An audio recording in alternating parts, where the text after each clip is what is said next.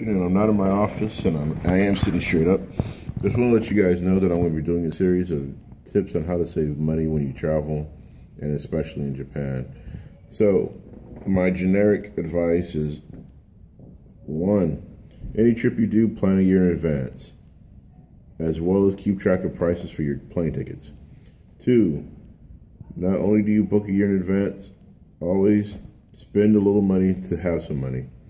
If the exchange rate is in your favor every month, take 50 to 100 bucks out and go buy from your local bank. Make sure that you're getting enough to justify the bank fees. If not, wait till the exchange rate is decent enough and, and take all that 50 $100 you're saving, spend it all in one hit.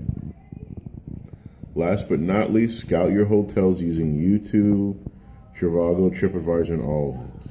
That way, you're getting the best price, best quality in central locations for you to enjoy your trip. That's my three tips in one minute. Talk to you later.